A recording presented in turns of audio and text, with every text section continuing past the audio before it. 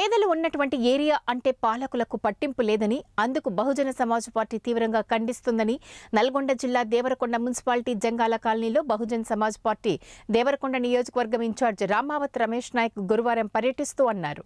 కనీసం వారికి అంతర్గత రోడ్లు లేవని వర్షం వస్తే నీరు ఇళ్ళల్లోకి వెళ్తున్నాయని ప్రజలు ఆవేదన వ్యక్తం చేస్తున్నారని వెంటనే జంగాల కాలనీలో సీసీ రోడ్డు నిర్మాణం చేపట్టాలని అన్నారు. వారి వెంట మహిళా కన్వీనర్ కొండా లలిత శ్రీరామదాసు తరుణ్ చారి నాయక్ తదితరులు ఉన్నారు.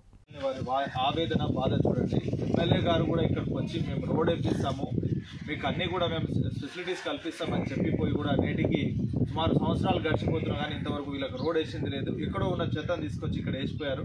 వర్షం వస్తే వాళ్ళ ఇళ్ళలోకి నీళ్ళు వస్తున్నాయి మా పరిస్థితులు చెప్పుకుంటే బా బాధలు చెప్పుకుంటే కూడా తీరవని ఈరోజు వాళ్ళు ఆవేదన వ్యక్తం చేస్తున్నారు. చైర్మన్ మున్సిపల్ చైర్మన్ దగ్గరికి పోయినా మూడు సార్లు ఆటో తీసుకొని పోయారా? మూడు సార్లు ఆటో తీసుకొని పోయి వాళ్ళు వాళ్ళ డబ్బులు వేసుకొని మరి మున్సిపల్ చైర్మన్ దగ్గరికి పోయినా కానీ కనీసం వాళ్ళను మాట్లాడిన దాఖలాలు కానీ వాళ్ళ సమస్యను తీర్చినటువంటి దాఖలాలు